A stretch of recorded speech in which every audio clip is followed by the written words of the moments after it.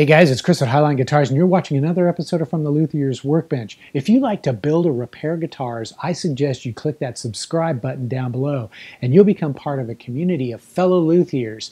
And together, we can take your skills to a whole new level. If you'd like to support my guitar building YouTube channel, visit eguitarplans.com and buy a plan. A link is in the description below. Now, on with the video. In this episode of From the Luthier's Workbench, I'm going to be covering part 22 of the Highline laminated top guitar build. And in this episode, we're going to get nutty.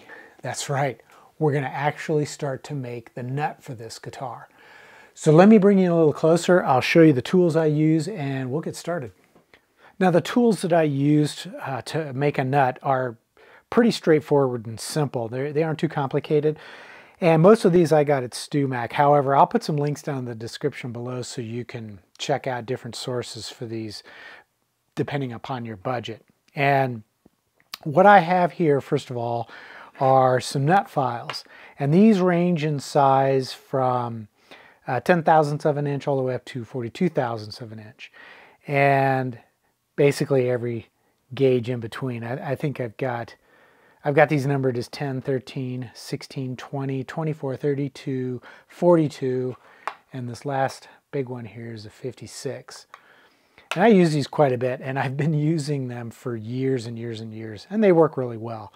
I also uh, keep a, a 10 thousandths of an inch saw, and this is a push cut saw, which means it cuts on the push stroke. And this is just really handy for starting some of the slots.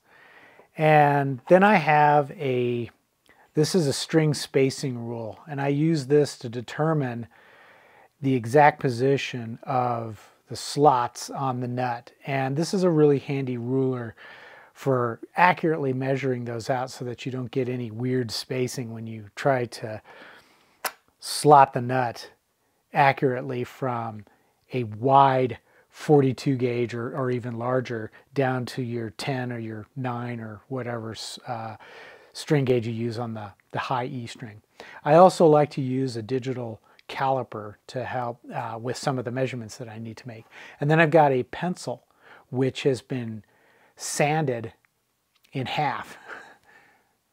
I don't know if you can see that, but uh, I'll explain its purpose here shortly.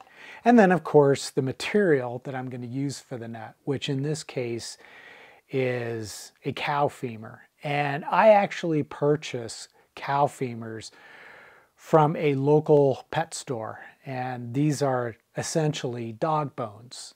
And from one of these dog bones, which costs about five, six bucks, I can cut it up into at least 20 blanks that I can use for making guitar nuts. So now we'll move to the other end of the headstock and I'll start to show you how I prepare the process of making the nut. The first thing I have to do is to measure the slot that I'm going to place the nut. And when I make my fretboard, since I'm using a CNC machine, I'll carve out this slot with the CNC machine at a dimension that I like to use for the nuts. And typically I like the nuts to be uh, about um, 3 sixteenths of an inch wide or thick, depending on uh, how you're looking at this. But I'll use my digital calipers to measure the thickness of that slot, front to back basically, from the bridge side to the tuner side. And in this case, it's about 0.1825 inches. And what I'll do is I'll just tighten this set screw so that it's not going to move. And then I can use my calipers to carefully measure the piece of bone as I cut it and start to sand it into a blank that will fit precisely into that slot. And the key here is that from the start to the finish, we go from oversized down to the perfect size. Now I'll take the chunk of bone over to my bandsaw and I'll cut off a slice that I'll use to make the nut blank. Next, I'll take that crude blank over to my belt sander and I'll begin to shape it. And then every so often, I'll stop to measure it with my digital calipers to make sure I'm getting close to that final thickness.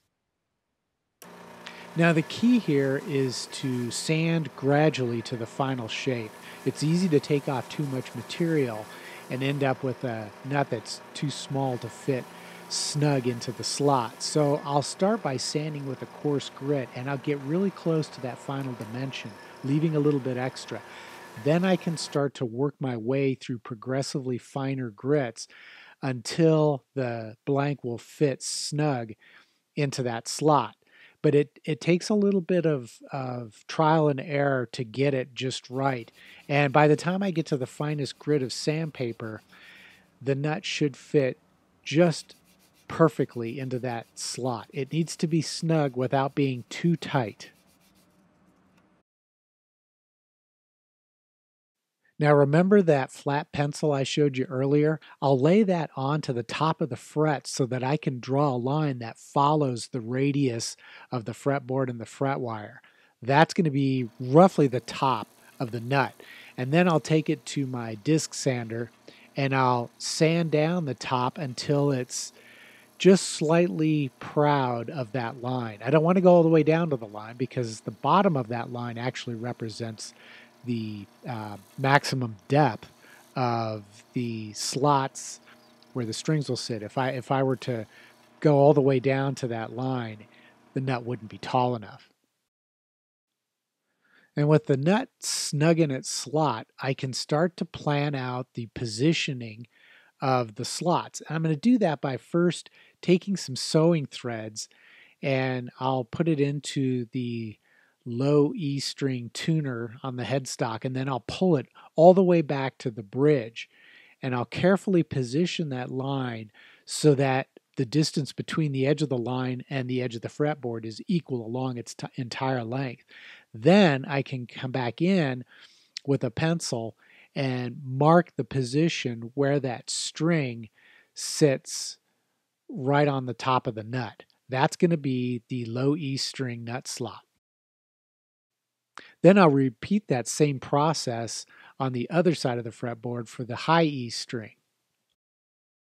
And now that I know my high and low E string spread, I can use my string spacing ruler to figure out the spacing of the strings in between those two marks. And this ruler is really nice because it takes into consideration the fact that your low strings, the wound strings, are larger in diameter. So it's the slots are marked to, for perfect positioning here.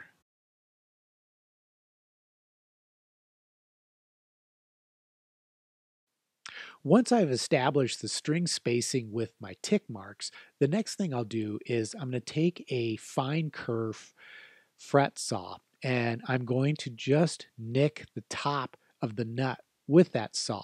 And this will put very shallow grooves where I can temporarily place the strings in order to make sure that I've got the spacing, at least visually, exactly what I want it to be.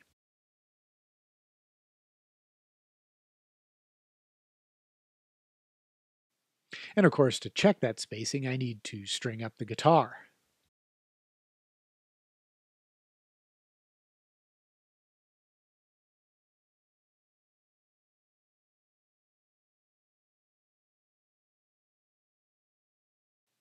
And once I have the strings installed, I can then slide them over until they click into those little shallow slots that I cut with that little fret saw.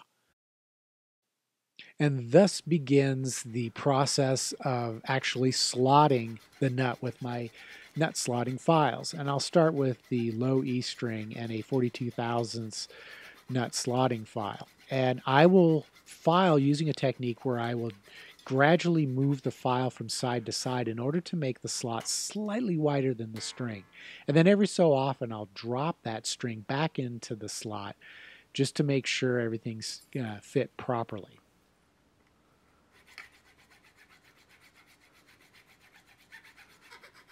And where the string exits the nut towards the tuners, I like to widen it out a little bit just so that there's nothing for the string to catch on as I'm tuning the string.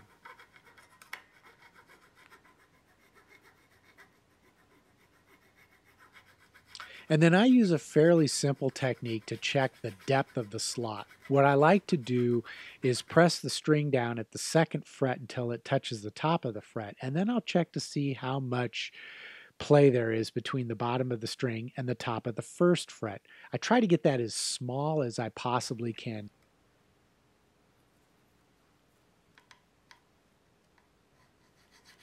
Each of the additional slots is cut in exactly the same manner, just with an appropriate sized slotting file.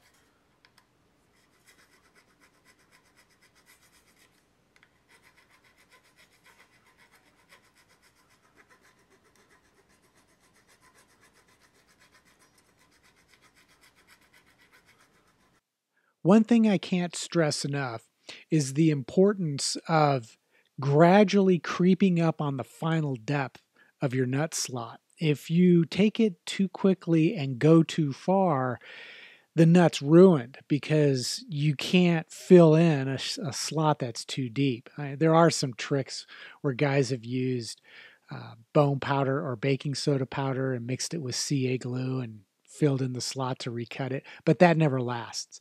So you just want to make sure that you replace the string in the slot every so often while you're filing this, the, the slot's depth, and then check the uh, the height of the string over that first fret, and do this periodically as you're cutting that that slot's final depth, and you'll gradually creep up on it, and once you've gotten pretty much all the way there stop. Another tip is when you're filing the slot, I like to file at a slightly downward angle towards the uh, tuners instead of keeping the the bottom of the slot parallel to the top of the fretboard. By doing that, I create a little bit of fall away that uh, actually uh, transitions the bottom of the slot away from the bottom of the string as it heads towards the tuner, and that gives better tone and better sustain for the string.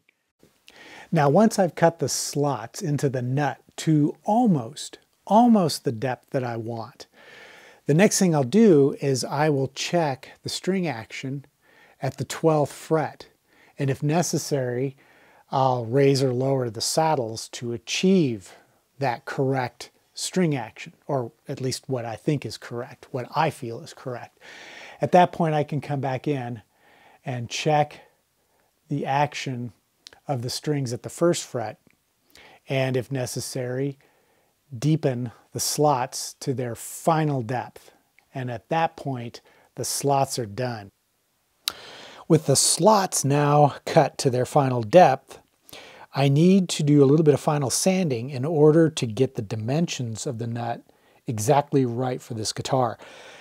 Now I don't want to mess around with the face of the nut or the back of the nut because if I do that, I run the risk of making the nut too small to fit in the slot. And it doesn't really matter because I can't see it anyways. But at this point, the nut is a little bit too wide on both sides. So I'm just going to sand it with some coarse sandpaper to get it down to the correct width. I also like to round off some of the sharp corners just to make the nut a little more comfortable, especially when you're playing up around that first fret. And once I've cleaned up that rough shape, I'll work through a progression of sanding grits starting with a piece 400 and then I'll work my way up through 600, 800, 1000, uh, 1200 and then I'll finish with 1500 grit. And I'm using 3M's flexible hookit sheets for this. These are really great for this because they're flexible and easy to conform to the shape of the nut. And from there, I can take it over to my buffing machine and bring it up to a nice high gloss shine.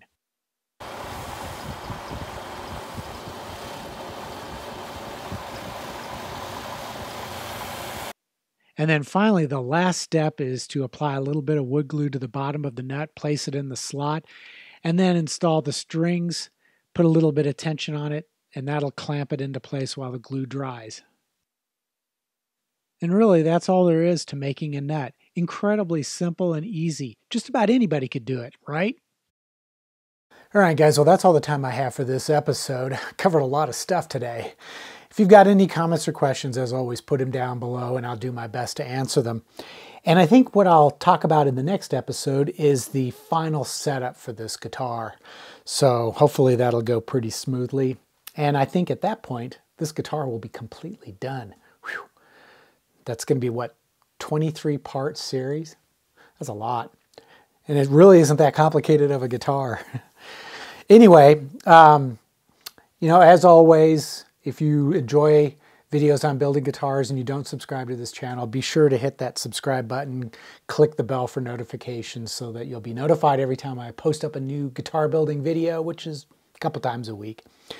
And if you would like to show some support for the work I do here, because, you know, every little bit helps, make sure you head over to eguitarplans.com and purchase a plan.